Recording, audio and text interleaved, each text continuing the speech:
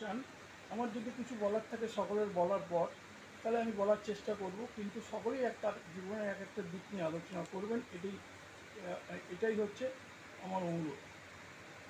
উচ্চ যেটা জ্ঞান যেথা মুক্ত যেথা গৃহের পাখি, আপন প্রাঙ্গণে তর দিবস সর্বরি, বসুধারে রাখে নাই খণ্ডপুত্র করি যেথা বাক্য হৃদয়ের উৎস উৎসমুখ হতে উচ্চ- উচ্ছ্বসিয়া উঠে যেথা নির্ধারিত স্রোতে।